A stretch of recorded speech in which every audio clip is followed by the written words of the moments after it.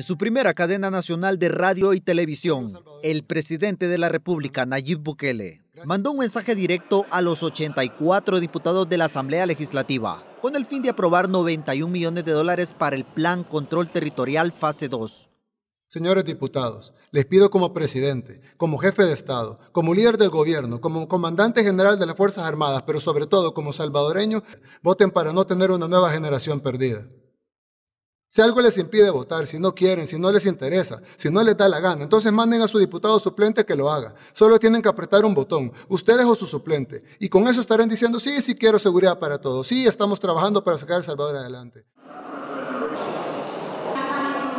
En el Palacio Legislativo, los diputados reaccionaron al mensaje del presidente de la República, sobre todo por la expresión, solo tienen que apretar un botón.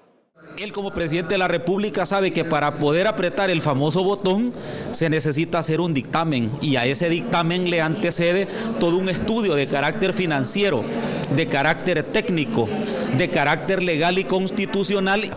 Yo me centraría más en el tema de la importancia de la necesidad de poder financiar este plan. Los epítetos políticos, esos realmente son intrascendentes. Yo creo que estos son comentarios eh, que no reflejan efectivamente eh, el compromiso que esta Asamblea tiene.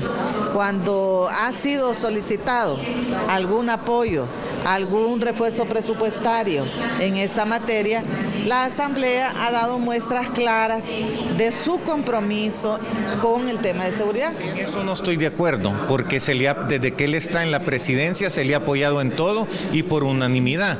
Entonces creo que no debería de ser de esa manera, porque si se le está dando el apoyo, no, anticiparse a algo que creo que la mayoría estamos convencidos de que hay que apoyarlo para que él tenga todas las herramientas para, para que haga el mejor de los trabajos posibles.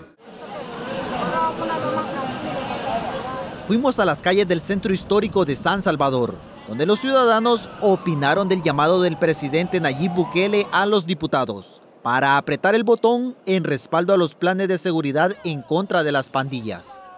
Y si no apretan el botón algunos diputados, están rechazando la población que nosotros tenemos actualmente. Los diputados que no quieren dar sus votos es porque quieren que la ciudadanía esté sumergida en, esa, en esas pandillas.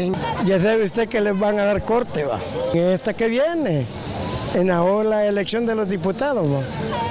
De que hay que portarse bien para que el pueblo los quiera y los ame. A 22 días de haber ejecutado el Plan Control Territorial, el presidente Nayib Bukele destacó los resultados del plan, sobre todo en la reducción de los homicidios. Se han desarticulado bandas, se han capturado cabecillas, ranfleros, palabreros y en solo 20 días del plan hemos interrumpido el funcionamiento normal de las estructuras pandilleriles. Pero necesitamos estos recursos para completar y sostener la fase 2 y la ciudadanía se siente más segura con la implementación del plan de seguridad ejecutado hasta ahora en 17 municipios, algunos de los más poblados y violentos. Seguridad veo muchos policías, muchos soldados y pues creo que eso para, la, para los salvadoreños es como ventajoso porque andan tranquilos, que no le roban y todo eso. A lo que se mira en lo que se mira en la televisión pues se está viendo que están actuando, ¿verdad? Pero tiene que lograrlo a través también de fuentes de trabajo para los jóvenes. Que lo siento más, más efectible porque, no, porque antes no podía andar bien seguro y a cambio sí me siento más seguro con precaución. El presidente de la República expresó en cadena nacional que la seguridad es la prioridad número uno de su gobierno, por lo que espera la ayuda de todos los sectores de la sociedad para resolver este problema social. William Chanta, TCS Noticias.